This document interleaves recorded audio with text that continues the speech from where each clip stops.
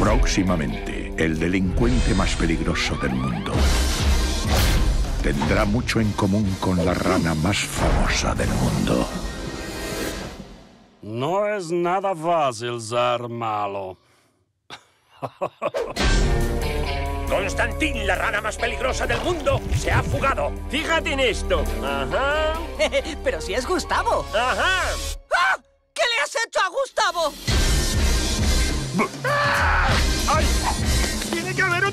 ¡Soy la rana Gustavo! ¿Qué hacéis? No, no, no soy Constantín. Pasarás aquí una temporada. ¿No os parece que Gustavo actúa de una forma extraña últimamente? ¡Con ustedes, la rana Gustavo! Con ustedes, la rana Gustavo. ¿Pero qué? ¿Qué es eso? ¿Un juguete? Eso es mi coche. Está casi prohibido por su gigantesco tamaño. Además, mi placa es más grande. Esta es mi placa de viaje. Esta es mi placa de verdad. He debido enseñar la placa equivocada. Y no me repasará la historia como el mayor ladrón de todos los tiempos. Dirás nuestros nombres. Claro. Primero mi nombre, luego espacio, espacio, espacio, tu nombre. ¡A Londres! Madrid. Dublín. La capital mundial del humor.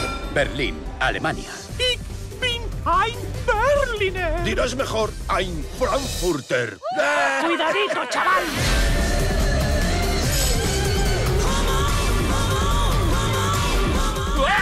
Dominique, agente de giras internacionales. Dominique, bad guy. Bagui. Es francés. Ah, ya. Solo un tipo en el mundo puede salvarnos.